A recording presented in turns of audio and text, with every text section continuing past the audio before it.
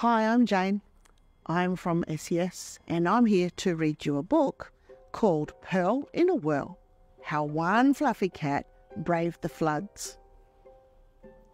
On Monday, Pearl did all her favourite things swatting and slurping, hiding and sleeping. That night, Pearl was asleep, all comfy and warm, when crash! The house was hit by a storm. It banged, it smashed, it whooshed and whirled. This storm was too rowdy, too windy, too wild. Pearl leapt from her bed and raced off to hide. Stop this racket, Pearl yelled, but no one could hear her. The water outside rose higher and higher.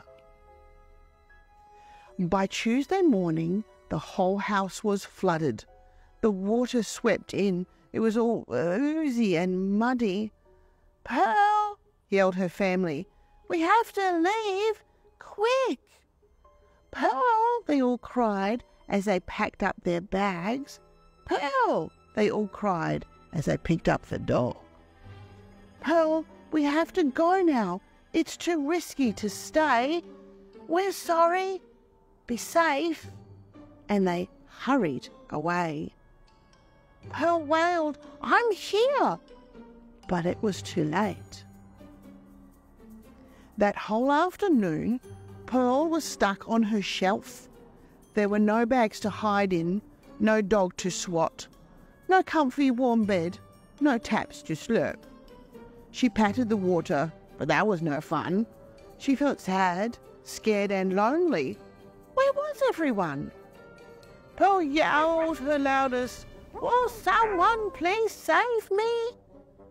But all she could hear was the wind and the rain. By Wednesday morning, the storm finally passed. The flooding seeped out, leaving sticky, dark mud. Pearl heard a knock, then a big thumping noise. The door was shoved open. Hello? came a voice. It was the neighbours who'd been sent to find her. Pearl leapt down from her spot and meowed, I'm here. Pearl, they cried. We're glad you're okay. Climb into here. We'll keep you safe.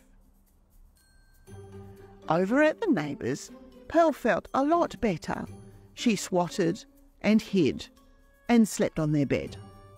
But the land all around got wetter and wetter. We'll have to be rescued, the neighbours said.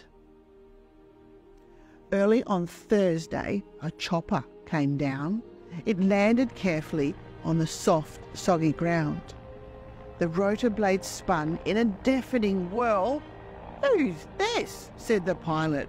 Well, hello there, Pearl. Away they all flew from the mud and the water.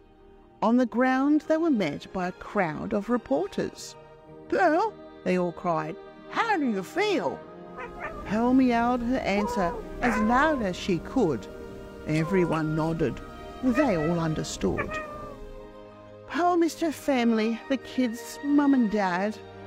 Bags she could hide in and taps she could slurp.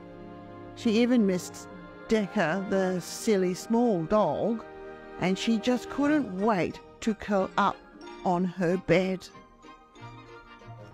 On Friday, Pearl's family phoned her to say, We found you a home for the next few days. It's a place just for cats, though they do have one dog.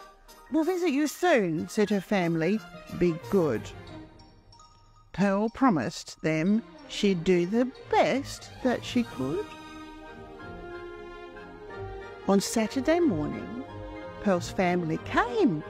They took turns to hug her, the kids, mum and dad. Take a look at our house. It's surrounded by onions. We can never go back. It's completely in ruins. We're safe, that's the main thing, said Pearl's mum and dad.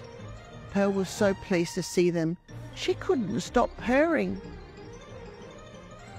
On Sunday, Pearl did all her favourite things swatting and slurping, hiding and sleeping.